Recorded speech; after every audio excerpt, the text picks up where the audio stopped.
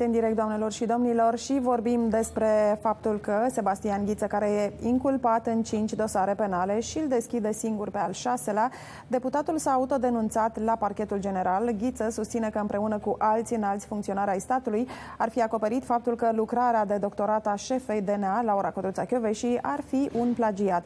Procurorul șef DNA susține că teza îi aparține în totalitate și că afirmațiile lui Ghiță sunt defăimătoare.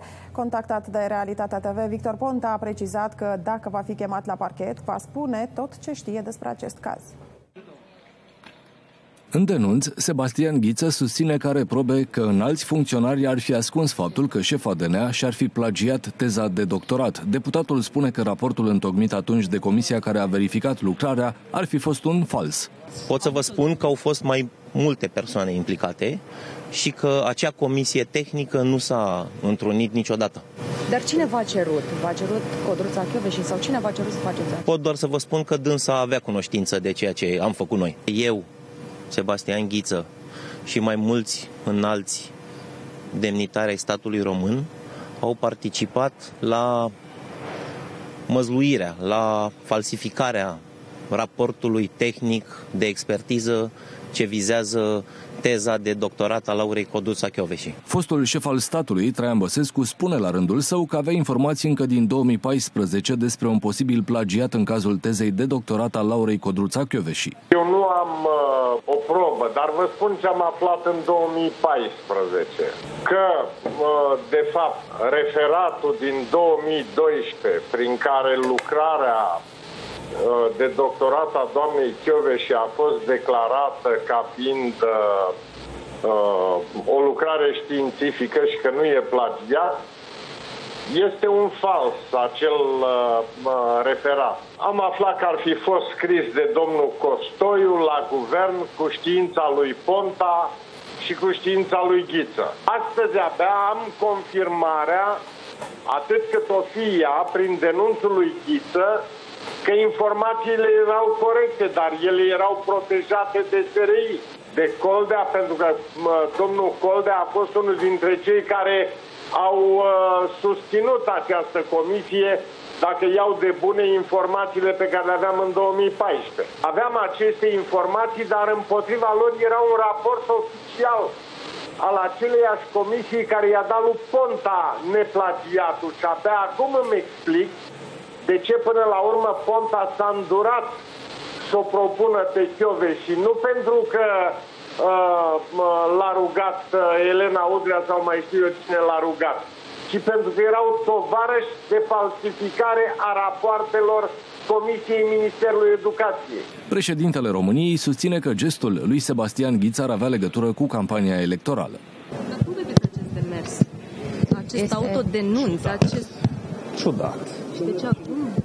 Din ca asta pot să vă răspund așa direct, din cauza campaniei electorale. O veți chema pe doamna și la discuții sau veți discuta cu dumnea ei despre acest scandal Evident că în măsura în care uh, chestiunea devine de competența președintelui, voi avea discuții cu cei care sunt implicați. Denunțul poate fi însă interpretat și ca o răzbunare. Asta pentru că Sebastian Ghiță este cercetat de procurorii anticorupție în cinci dosare penale. Ultimul dintre ele a fost deschis de DNA Ploiești la începutul acestei luni. Într-un comunicat transmis aseară presei, șefa DNA spune că nu a plagiat și că lucrarea îi aparține în totalitate. De altfel, acest lucru l-am susținut de la prima apariție în spațiul spațiul public a afirmațiilor denigratoare încă din anul 2012, adaugă Laura Codruța Chioveși. În comunicat se mai spune că afirmațiile defăimătoare ale persoanelor cercetate de DNA de o vehemență fără precedent în acest an au făcut obiectul sesizărilor înaintate Consiliului Superior al Magistraturii, care a constatat că acestea aduc atingere prestigiului și credibilității magistraților.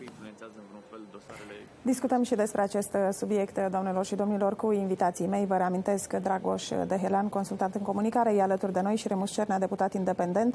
Domnilor, aseară când ați auzit despre acest subiect, ce v-a trecut prin minte? Ce vrea uh, domnul Ghiță cu acest autodenunț? Acum. Și de ce acum? Noi am fost uh, obișnuiți uh, să vedem uh, denunțuri eventual atunci când uh, un inculpat ajunge în uh, ancheta DNA și Eventual în vorbește... arestul poliției și exact. își amintește atunci anumite își amintește lucruri. de ce făceau diversi colegi. Um, în acest caz e ceva special. N-am mai văzut un astfel de denunț făcut, autodenunț făcut cu atâta enfază în fața camerelor de luat vederi. Uh, în consecință, trebuie să-l vedem, uh, în primul rând, uh, ca un gest din campania electorală de care am vorbit aici, că se întâmplă la ora actuală. Și e, e simplu de interpretat. Pe de o parte, ceea ce face Sebastian Ghiță este să spună eu sunt un om onest, pentru că doar un om onest ar face un autodenunț civic. Iar avem un și om vorba... onest inculpat în cinci dosare ajungem imediat. Primul, primul gest al autodenunțului uh, merge foarte bine pe uh, zicala, o gre, greșeala uh, recunoscută este pe jumătate iertată a românilor. Deci, în primul rând, el vrea să spună că este onest și nu e pentru prima oară când se învinovățește pe sine pentru, să spunem, naivitate, pentru că și în trecut a, a vorbit despre cât de naiv a fost când a încurajat, uh, să spunem, uh, DNA-ul uh, pe Codruța Chiovei și, și ia uite că acum DNA-ul de fapt îl, îl prigonește și el este de fapt un creator care este urmărit de creația sa scăpată de, de sub orice control. Doi, povestea dosarelor penale devine deja o bagatelă, o banalitate. Pentru că, iată, vorbim de un om care are cinci uh, pentru dosare. Pentru cei implicați în aceste dosare sau pentru ce? Pentru noi care ne uităm la televizor la gestul uh, domnului Sebastian Ghiță. Trebuie să înțelegem că uh, este ceva uh, banal să ai dosare penale, așa cum spunea uh, președintele PSD, dacă nu ai dosar penal, uh, nu existi. La fel uh, și Sebastian Ghiță ne, ne spune, am cinci dosare, dar uh, sunt atât de puțin importante aceste dosare, încât, iată, îmi permit să mai plusesc cu unul, să mă, auto, uh, să mă autodenunț. Rezultă cumva că uh, uh, e chiar o modă să avem dosare penale, ne spune uh, el ca actor în campania electorală și nu în ultimul rând, e foarte important să decredibilizăm, să decredibilizăm pe oricine care e implicat în actul de justiție, cum ar fi uh, Codruța uh, și uh, care, iată, Uh, s-ar putea să fie uh, pe același palier cu alte somități ale zilei, precum uh, domnul Ponta, precum domnul Oprea sau Negoiță. Poate că, exact cum spunea domnul Negoiță, este, era o modă ce să facă și, și el a făcut un plagiat. Deci Ăsta e mesajul pe care vrea să ni-l transmită, consider eu, Sebastian Ghiță, printr-un denunț, autodenunț inedit este, este drept. E, din punctul meu de vedere, doar un gest de campanie electorală.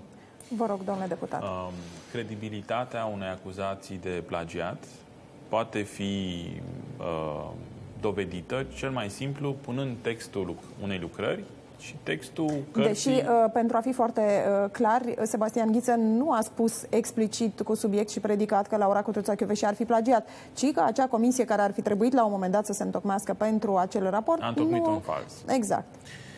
Bun. Să vină cu probă despre asta. Uh, eu am văzut în presă un material... Uh, în primul rând, sper să nu fie așa. Dacă ar fi adevărat ce spune domnul Ghiță, ar fi o problemă. Sper să nu fie așa. El Am spune încredere... doar că, a fals- că au falsificat mm-hmm. un document. Nu, nu face... Acum, mi-e și greu să, să, să-mi dau seama care este expertiza da, da. lui uh, în analiza uh, doctoratelor. Dar nu, da, nu spune am că... Am văzut un alt material uh, postat de... Uh, așa numita asociație, Asociația Grupul pentru Reformă și Alternativă Universitară, da, care spune că ar fi plagiat din trei cărți și sunt date aici. Însă acest grup uh, e foarte ciudat. Are un site, se numește plagiate.ro. Dacă intrați pe plagiate.ro și dați click pe indexul operelor plagiate din România, vă apare un anunț că uh, vi s-a infectat uh, calculatorul cu nu știu ce virus. De aici Apoi, nu are niciun fel de date acestui. de contact, nu are date de contact care să se refere la o persoană, ci are doar niște un, un singur e-mail de contact uh, cu numele asociației, dar nu este trecută nicio persoană. Ar trebui să existe, dacă ar fi o transparență și să știm cine are site-ul ăsta, cine se se personalitate... Să fie o persoană, măcar o persoană, dacă nu o personalitate, să, să, să știm cu, cu cine discutăm.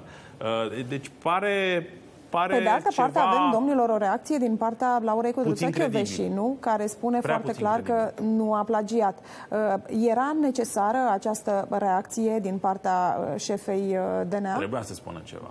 Da, era necesară reacția. Cred că este bună, dar ce aș mai fi adăugat la ea ar fi fost o detaliere a speței.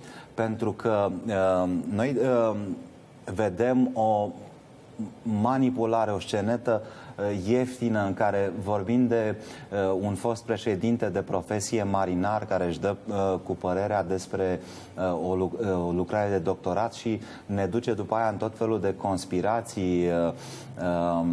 Aici lucrurile sunt mult mai simple. Avem internet, toți putem să vedem documente, imagini cu pagini din lucrarea de doctorat și ceea ce susțin cei care uh, vorbesc despre un eventual plagiat.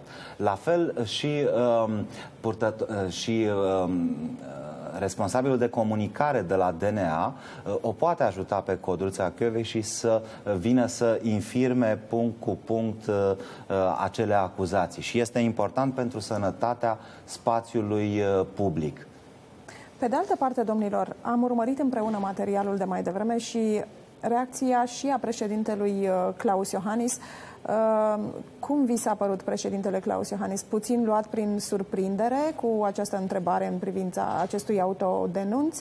A spus că îi se pare ciudată toată chestiunea asta și că în mod sigur are legătură cu, cu campania electorală care se apropie. Vă spuneam că și mie mi se pare ciudată, pentru că, iată, apare o declarație a unui politician uh, anchetat în cinci dosare penale, dublată de un comunicat al unei organizații quasi fantomă Cetățenești. cu site uh, plin de virus sau ceva de genul.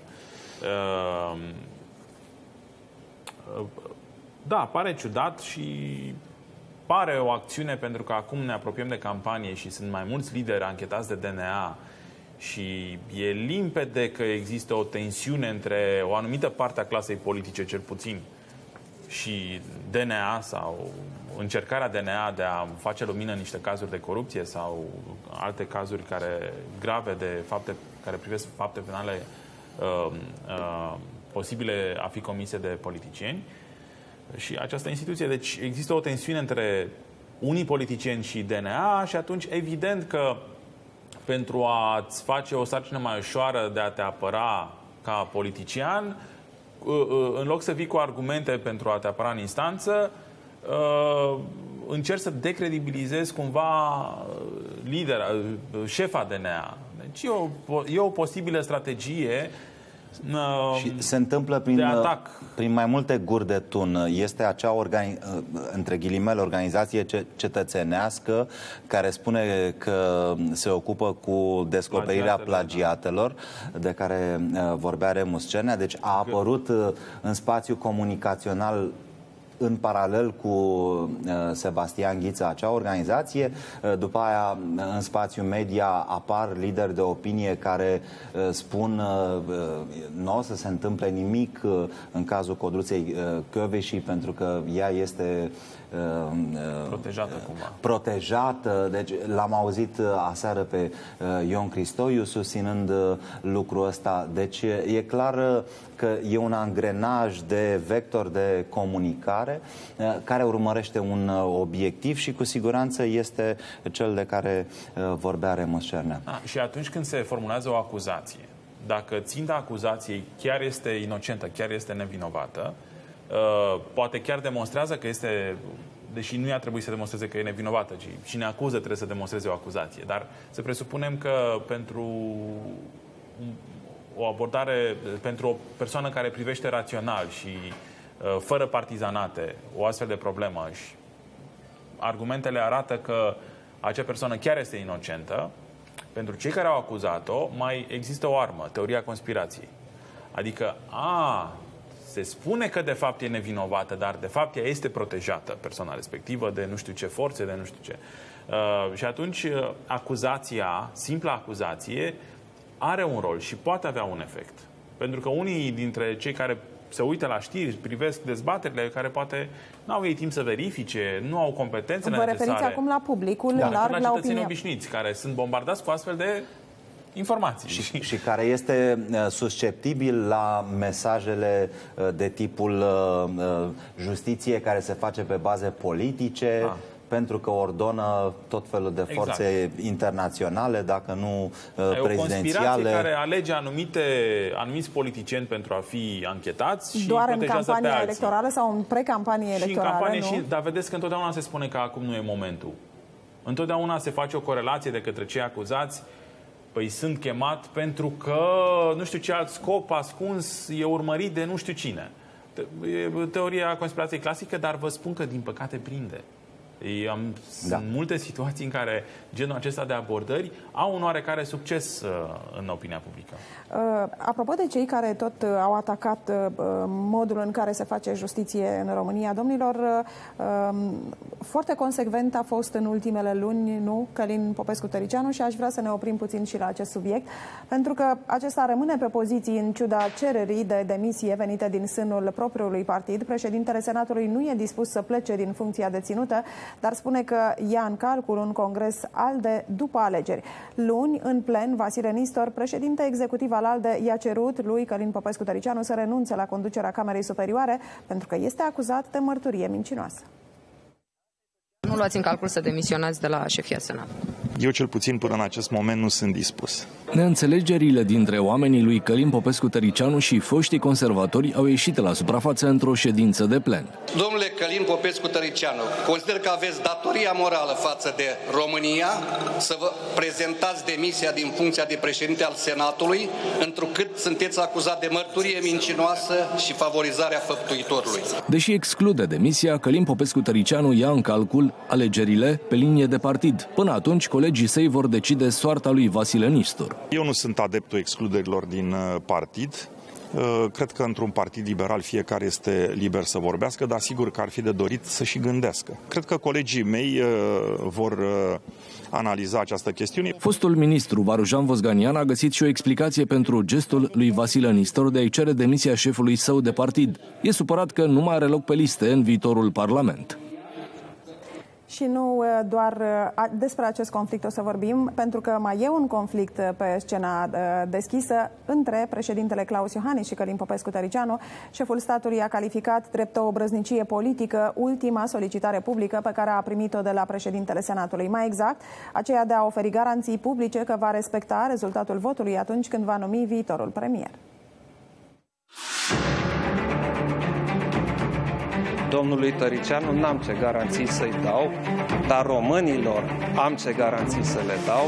Le-am dat când mi-am preluat mandatul, când am jurat cu mâna pe Biblie și pe Constituție că voi respecta legile României și voi face tot ce îmi stă în putere în avantajul României. Este jurământul cel mai important pe care îl face un președinte și orice punere sub semnul îndoielii este o obrăznicie politică. Am înțeles foarte clar de la doamna Gorghi următorul lucru, că pentru domnia sa, pentru PNL și uh, sigur aici am pun un mare semn de întrebare dacă este același lucru valabil și pentru președintele Iohannis, nu va conta ce votează românii, ci contează care sunt jocurile de culisă. În atar condiții, cu doamna Gorghiu m-am obișnuit de multă vreme să uh, desconsidere valorile democratice fundamentale și liberale. Aștept de la președintele Iohannis o precizare fără echivoc prin care să ne spună dacă va, res- uh, va respecta votul majoritar al românilor la viitoarele alegeri. În primul rând, domnilor, e uh, normal înainte de campania electorală să existe aceste uh, neînțelegeri sau nu știu cum să le numim în interiorul uh, partidului. Am văzut și explicația domnului Varujan Vosganian. Nu știm de ce prin vocea domniei sale am aflat, de fapt, de nemulțumirea domnului uh, Vasile Nistor, care a venit la tribună și a cerut uh, demisia uh, propriului uh, coleg. Cum înțelegem o, o situație de acest, de acest fel? Cred că sunt gesturi de normalitate, um, pentru că noi ne aflăm acum sub un asalt mediatic. Uh, cei care ne urmăresc uh, pot să verifice programul televiziunilor, să vadă că uh, peste tot pur și simplu denaturăm termenul de justiție.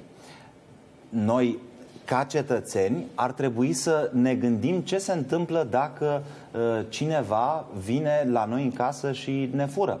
Ce se întâmplă dacă uh, pe stradă cineva ne lovește pe noi sau pe uh, soția noastră sau pe mama noastră? Da? Am vrea să existe un sistem de justiție care să îl pedepsească pe cel care se comportă împotriva uh, bunului simț, antisocial. Uh, Ceea ce uh, vedem însă în discursul public este ignorarea, anularea, anihilarea ideii de uh, justiție. Și asta ajunge la electorat. Și mulți cred uh, din păcate lucrul ăsta. Ceea ce spun eu este că un astfel de discurs anti-justiție este unul anti social. Și mă bucur că există oameni cu un minim de coloană vertebrală care înțeleg să se ridice chiar și la tribuna Parlamentului să spună nu este e, în regulă. Aici e problema. Dacă vorbim, iertați-mă că v-am întrerupt, dacă vorbim de coloană vertebrală sau dacă vorbim de un interes ascuns sau nu chiar atât de ascuns, dacă e să ne uităm la ce spunea Varujan Vosganian.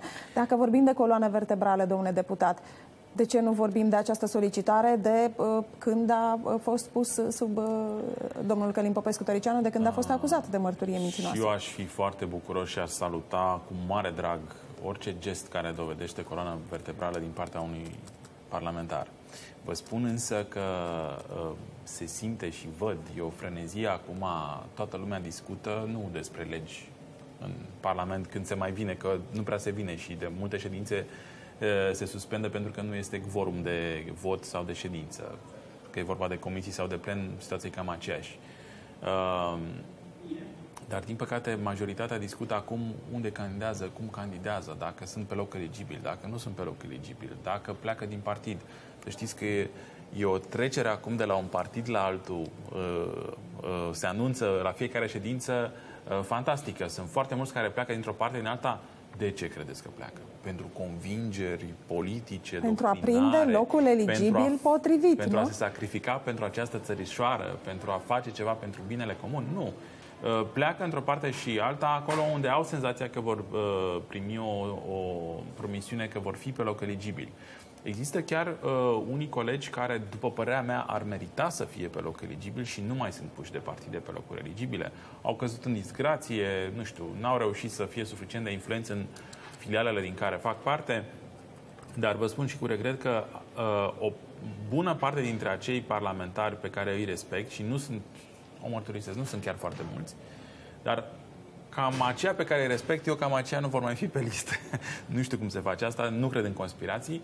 Uh, uh, așadar, uh, acum, pe fondul acestei frenezii de a găsi un loc eligibil, apar conflicte mai dure, poate, decât niciodată în interiorul partidelor. Și m-aș bucura ca declarația senatorului de mai devreme să fie motivată de rațiuni de conștiință. Mă tem că ea este în parte amestecată și cu rațiuni pragmatice, de, motivate poate de refuzul domnului Tericianu sau altora din alte de a-l pune pe un loc eligibil. S-ar putea să mai apară și astfel de... De acord, dar orice alte... scurnire de conștiință e bună. Noi ne bucurăm haide, și haide pentru să, un dram de conștiință într-un de, gest care poate e pragmatic. De, de un film celebru, Lista lui Schindler, da, nu? Da. Uh, unde nu vorbim de un om a cărui co- coloană să fi stat uh, uh, constant și în totalitate uh, drept, dar vorbim de un om care atunci când a fost cazul a reușit să salveze o mie și ceva de vieți să care... salveze niște vieți. La fel poate să facă un om politic care știe să uh, facă un pas uh, înapoi atunci când este cazul, uh, să, să spună prea mult e prea mult, da? Și uh, lucrul ăsta uh, ne-ar permite să, uh, să construim. Eu zic că merită salutate. Da, și acest gest seamănă, într-o anumită măsură, că vorbisem în pauza publicitară despre asta, seamănă puțin cu ce a făcut domnul uh, Valeriu Zgone, care la un moment dat, fiind președinte al Camerei Deputaților, a spus PSD n-ar trebui să aibă un președinte care este condamnat penal, referindu-se la domnul Dragnea. Ulterior, la foarte scurt Știm timp, a, a, a fost pur și simplu scos de, din, și eliminat din PSD și scos din uh, funcția de președinte al Camerei Deputaților. Atunci când a fost uh, uh, demis din funcția de președinte al Camerei Deputaților, asta s-a făcut printr-un abuz. Și deși am avut mai multe polemici cu domnul Zgonea de-a lungul vremii, pentru a apăra un principiu, m-am dus la tribuna la microfonul camerei și am spus că se comite un abuz. Am fost însă surprins că am fost cam singurul sau printre foarte puținii care au făcut asta. Era un abuz procedural, s-a recurs chiar la schimbare de regulament pentru a schimba un om, ceea ce este nefiresc. Pe de altă parte, domnilor, schimbul acesta de replici l-am urmărit uh, ceva mai devreme între uh, președintele Claus Iohannis și Călin Popescu Tăricianu. Cum îl vedeți? Da, um, Cred că de la înălțimea demnității sale, președintele uh, trebuie să formuleze puncte de vedere ferme, dar care să nu alunece spre etichetări și atacuri la persoană. După părerea mea, prestigiul instituției este crucial și el trebuie menținut. Deci cred că poziția președintelui este legitimă până la momentul în care ar aluneca puțin spre etichetări. Nu e nevoie ca președintele să eticheteze pe cineva ca fiind obraznic sau Uh, într-un alt mod. E suficient ca președintele să spună eu voi respecta Constituția, am un, sunt mandatat de cetățeni, a spus foarte bine asta, am un mandat de la cetățeni, voi respecta regulile jocului democratic uh, și orice fel de suspiciuni la adresa mea că nu aș face sunt neîntemeiate. Cu asta se oprește, e demnitate, e fermitate, e adevăr dacă... Uh, mai mult de atât, e de dorit ca un președinte, am avut experiența cu președintele Băsescu, care a fost terifiantă atâția ani în care președintele ieșea și Vă întrerup doar o secundă și îmi cer scuze, domnule lumea. deputat, pentru că Elena Odrea a ieșit la, de la DNA, o ascultăm și noi în parte, pentru că în campanie aveai o sumă limitată pe care aveai voie să o cheltui. Și atunci, pentru a nu depăși acea sumă, fiecare partid făcea și plăți neînregistrate. De aici a venit toată uh, ilegalitatea finanțării partidelor. Dar știți că în acea perioadă Gheorghe Ștefan sau Vasile Blaga să fie adus sume considerabile de bani în partid? În afară de ce a spus domnul Gheorghe Ștefan în mod public, uh, prin uh, declarația din dosarul Microsoft, altceva nu cunosc. Cineva dintre liderii partidului la vremea respectivă putea să profite personal de pe urma acestor uh, contribuții teoretic destinate partidului? De exemplu, domnului Blaga îi se reproșează că pe lângă ce a încasat pe DL-ul, acele 25 de milioane, ar fi încasat dumnealui 700 de mii de euro, banii dumnealui. Nu cunosc acuzație și nu cunosc dacă domnul Blaga a făcut așa ceva, însă, teoretic, oricine în campanie care încasa sume neregistrate putea să le ducă și acasă, teoretic. Domnul și din câte știu era chiar o acuzație la PSD că unul dintre candidați a luat banii și a dus acasă. Doamna Udră, ați dat declarație Am dat declarație, dosar? da, am dat. Mulțumim. Da.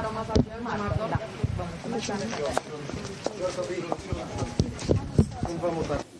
Am ascultat-o, doamnelor și domnilor, pe uh, Elena Udrea, declarații uh, la ieșirea de la DNA. Ce am uh, reținut, uh, domnilor, uh, una dintre uh, frazele uh, pe care le-a punctat Elena Udrea ceva mai devreme, uh, exista posibilitatea ca uh, unii oameni care au, ar fi încasat bani negri în campania electorală, sume neînregistrate, spune Elena Udrea, să le ducă acasă. Nu cunoaște nimic, uh, evident, întrebată de jurnaliști de acei 700.000 de euro care ar fi ajuns uh, la uh, Vasile Blaga.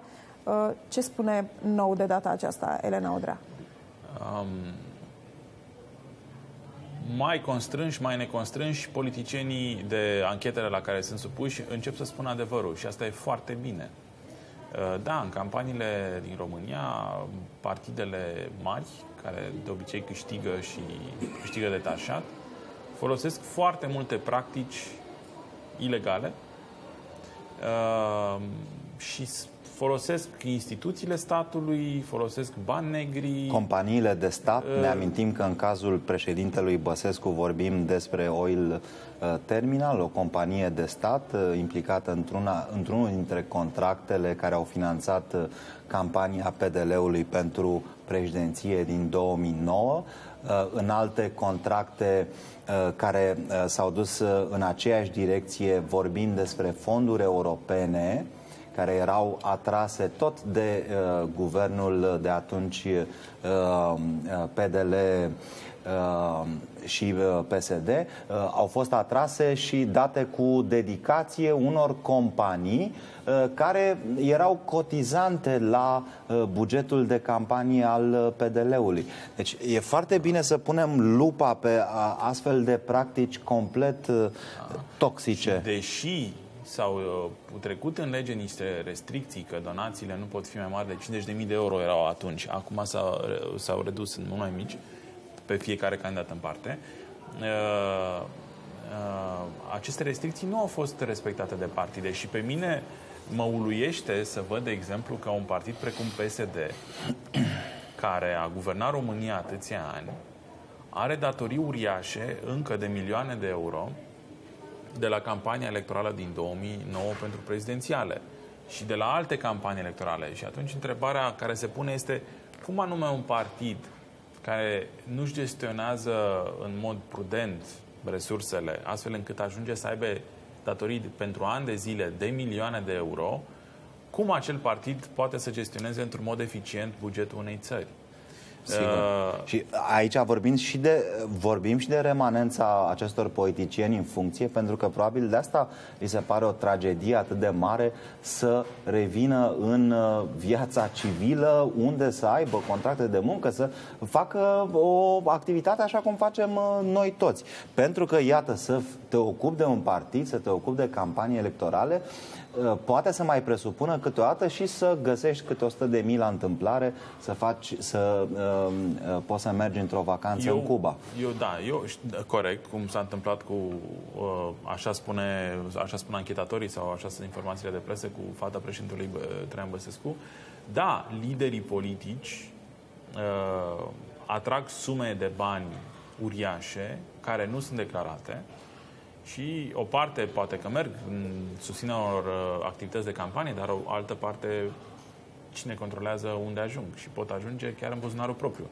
Um, vă spun că genul acesta de a face politică, um, această mentalitate că trebuie să controlăm tot, să avem tot și modul în care, de fapt, este uh, respinsă o competiție electorală deschisă și transparentă pentru toți, în care și competitorii mai mici să aibă vreo șansă, anihilează orice perspectivă ca România să-și consolideze democrația. N-aș spune mai bine. mici, aș spune uh, mai cinstiți, că ăia mai care nu fură atât mici, de mult noi, mai... nu trebuie să fie mai mici. Da, nu, mai mici în sensul că sunt inițiative mai nou apărute care încă n-au apucat să-și facă structura la nivel național. Ceea ce face DNA-ul este foarte bine. Este excelent că avem decizii ale justiției care atestă faptul că au fost fapte de corupție comise de către înalți demnitari. Însă este nevoie să reconstruim politica din România cu oameni onești, cu oameni care să aibă reflexe de a respinge orice fel de acte de corupție, orice fel de manevre din astea făcute în afara legii sau la limita legii, uh, oameni care să urmeze niște cauze și niște valori și să reprezinte acele interese legitime din societate care se manifestă electoral prin vot. Dar pe de și altă parte... oamenii, uh, îmi cer scuze să îl completez pe Remușernea, oameni care să vrea să fie liberi, pentru că mm. să intri în acte de corupție, de fapt înseamnă să-ți îngrădești propria, să-ți uh, amanetezi propria libertate. Cel care știe ce ai făcut uh, va ști și peste un an și peste uh, 10, așa cum se întâmplă, cum s-a întâmplat, iată, în cazul uh, lui Sorin Ovidiu Vântu uh, și al uh, domnului Olteanu. Un secret de acum 10 ani poate să te lovească și, să-ți, și deci să-ți restrângă efectiv libertatea. Apropo de aceste uh, secrete, uh, o întrebare evident care ne poate veni în minte uh, acum e de ce vorbim de un astfel de dosar acum la atâția ani de când au avut loc uh, alegerile și de când au, uh, acei bani au intrat în niște buzunare? La un răspuns consistent aici de neau. Știm răspunsul pe care sau... Laura uh, Codruța Chiove și l-a dat în nenumărate rânduri, întrebată fiind de ce apar anumite dosare după ani și ani. Da. Dumnezeu a avut o explicație uh, destul de tehnică, ca să-i spun așa, ordinea dosarelor în care sunt uh, luate, prioritățile, există da. astfel de lucruri. Eu ce pot să sper în calitate de simplu cetățean este să nu existe dosare ținute pe loc pentru a nu supăra pe cineva Până la momentul care potrivit? este la putere, să spunem. Uh, sau și că nu sunt ținute dosare pentru ca ele să fie aruncate în prag de campanie electorală cu scopul de a influența cumva mersul lucrurilor în alegeri. Sper că nu există astfel de situații, însă și DNA-ul la rândul lui trebuie să explice transparent, trebuie să explice foarte clar cum e cu aceste dosare dacă uh, și să înlăture pe cât posibil suspiciunile care exista uh, un scop anume de a uh, periclita, să spunem, uh, alegerile în privința unui lider sau altul politic. Asta pe de o uh, parte. Și pe... Nu, nu trebuie să, să fie un scop politic pentru ca uh, cineva să arunce uh, o serie de anchete în preajma campaniei electorale. Poate singurul scop poate să fie uh, acela a unei societăți mai sănătoase. Deci nu, nu, nu, nu trebuie ca o instituție să urmărească uh, eliminarea unui lider sau altul. Nu, mm-hmm. ci să urmărească să se pună în regulă, în ordine, regulile uh, jocului. Haideți să ne imaginăm ce se întâmplă cu un astfel de dosar care este, să spunem, uh, uh, apare în presă în 2018, deci mult între campanii electorale. Ce se întâmplă cu un astfel de dosar este reacția. Orice acțiune are o reacție.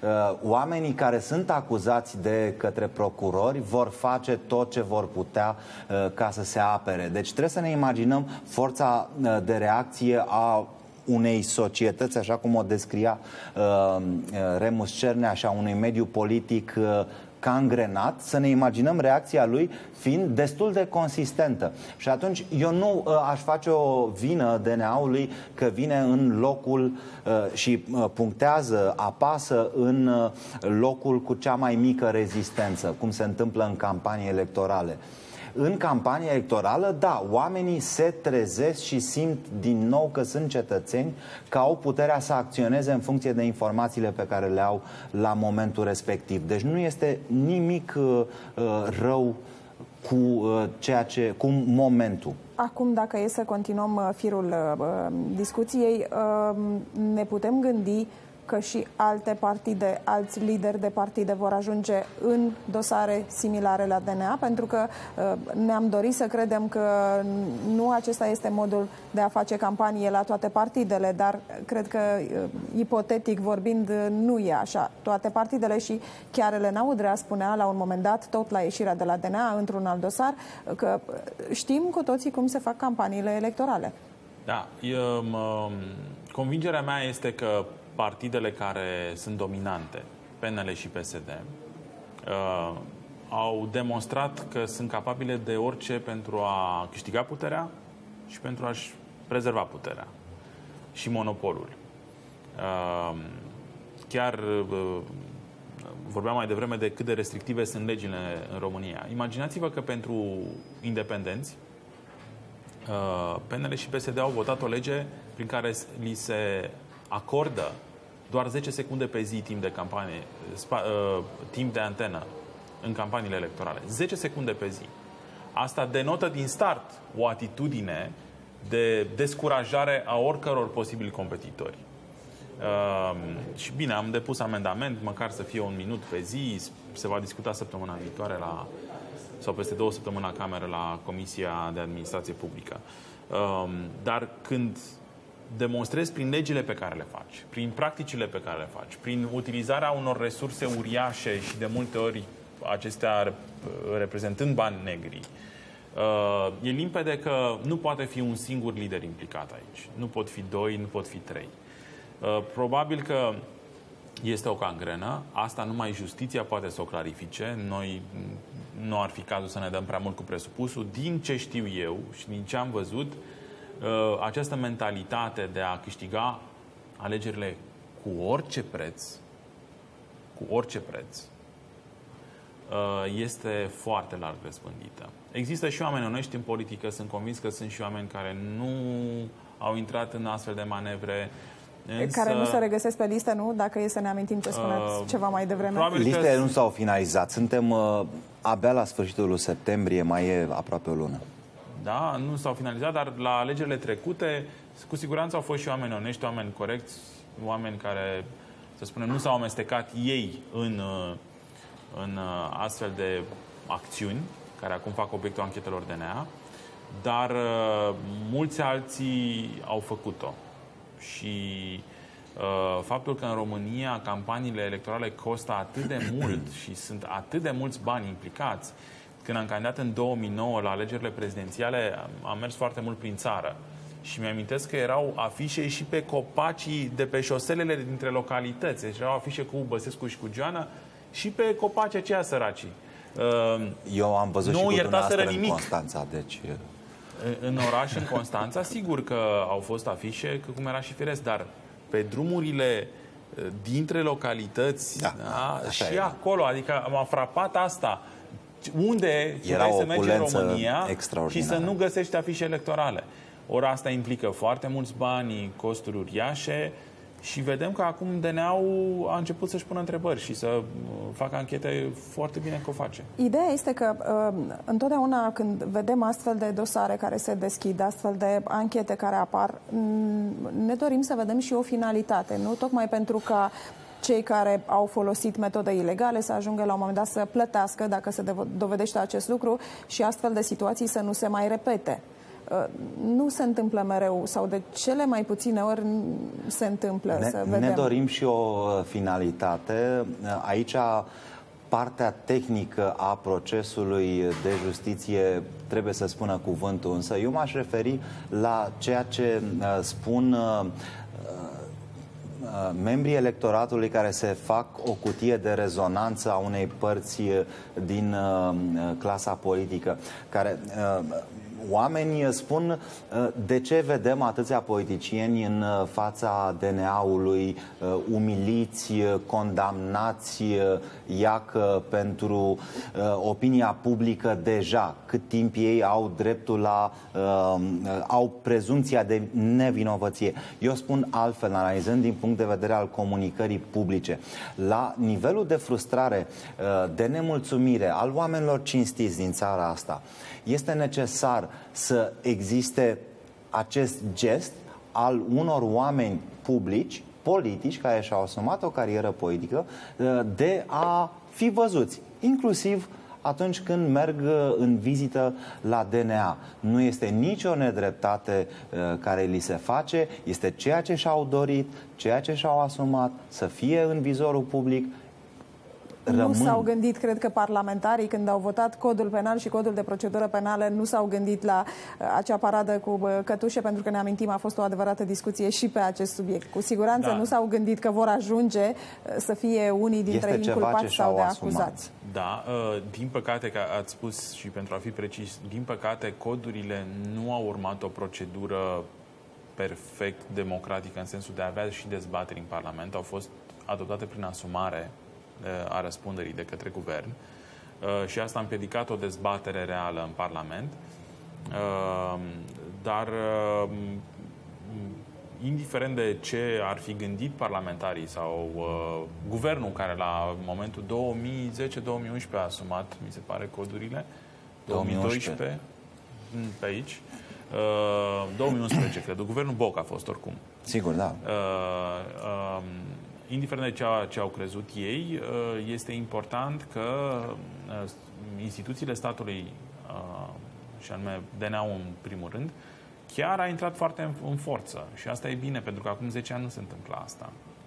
Deși instituția exista, poate nu mai știu dacă se chema PNA. DNA sau PNA, PNA s-a chemat prin, la începutul anilor 2000, o perioadă, dar acum 10-12 ani nu aveam miniștri, nu aveam prim-ministri, nu aveam deputați și senatori anchetați și asta se întâmplă relativ recent, de 3, 4, 5 ani, să spunem. Mai puțin, mai cam puțin. 4 ani. 3. Cam de pe la Năstase, 2012, da, cam 4 ani. 2012-2013. Cam, cam din perioada aia au început că să apară cazurile cu lideri marcanți. Da. Și nu, eu știu ce consilier din nu știu ce comună sau lideri marcanți, anchetați și ulterior condamnați de instanțe, pentru că actul de justiție și puneți întrebarea când se finalizează actul de justiție se finalizează cu decizia finală, cu decizia definitivă a instanței. Acolo, atunci se face justiție. DNA-ul este o parte a procesului de justiție. Uh, faptul că ești anchetat nu înseamnă neapărat că ești condamnat sau că ești vinovat, dar actul de justiție se finalizează și este pe deplin făcut, însă mai am și eu o nedumerire.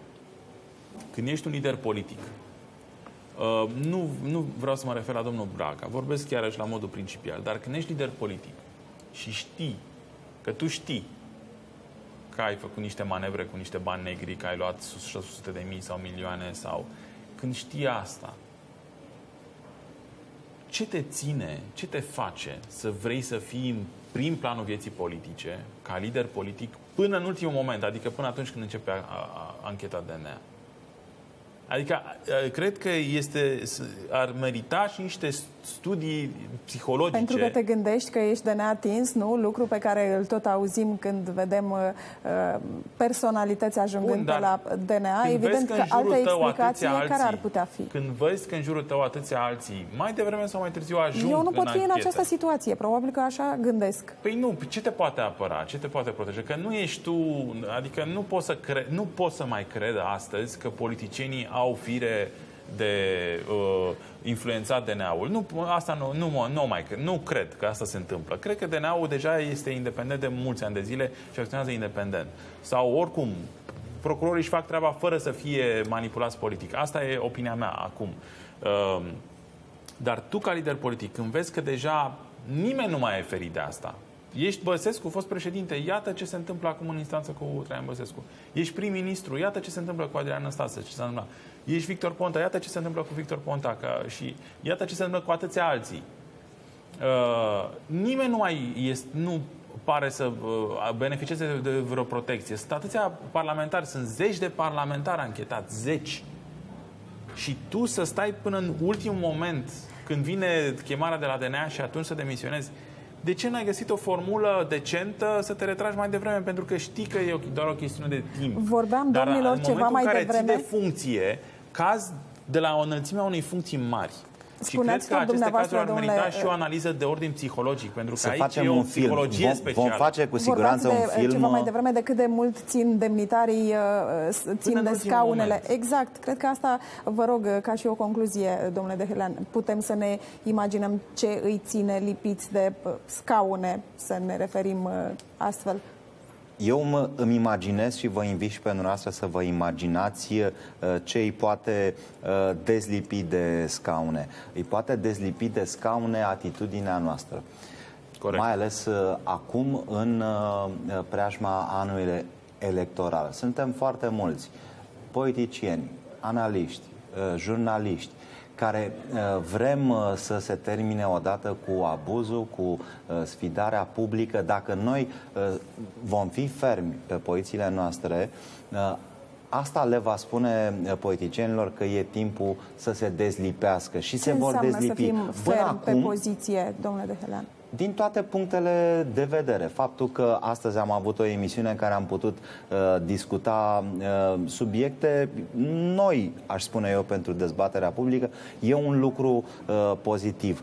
Electoratul trebuie să înțeleagă că trebuie să se manifeste. Avem multe moduri de a face lucrul ăsta la ora actuală. Avem rețele de socializare, avem internet, putem să facem ceva, putem să mergem să uh, ajutăm politicieni onești Uh, pentru că, spuneam, uh, o semnătură pot uh, da pentru mai mulți politicieni pe care îi susțin. Da? O semnătură. Deci, și votul rămâne la latrinea exact. ta în votul, ziua votului. Votul e unul singur, da. dar se va întâmpla atunci. Dar haideți să mergem, dacă suntem din București, să spunem, haideți să, să, să ieșim și să ne uităm după corturi, să ne interesăm de oferta... Va fi și un târg al, pentru partide pe, la frumos. Green Hours, pentru cei care vor să vină la, să semneze pentru mai mult mulți sau e la uh, decizia lor, uh, în acest weekend la Green Hours oamenii pot să vină să semneze pentru oricine dorește. Deci, haide să ne plimbăm prin București, haide să vedem corturi, haide să vorbim dacă îi prindem, dar iată că uh, politicieni care emoționea sunt deschiși, poate îi putem întâlni, poate putem... Sigur, uh, eu stau de vorbă, ore întregi exact. pe zi. Haide să facem lucrul ăsta, să, să, să vedem uh, despre ce e vorba. E, și aici avem o problemă uh, cu deschiderea electoratului și electoratul. Este, eu vă spun că este. este. Există un răspuns, oamenii sunt interesați, au dezamăgiri mari, dar sunt interesați să afle mai mult și să participe, pentru că se gândesc la viitorul lor asta și al este, copiilor lor. Nu trebuie asta să este un uh, lucru uh, foarte bun și iată că uh, reușim să terminăm emisiunea de astăzi într-un ton optimist. Domnilor, vă mulțumesc foarte mult pentru că ați fost astăzi alături de mine. Domnilor și domnilor și dumneavoastră vă mulțumesc pentru atenție. Rămâneți în continuare pe Realitatea Plus.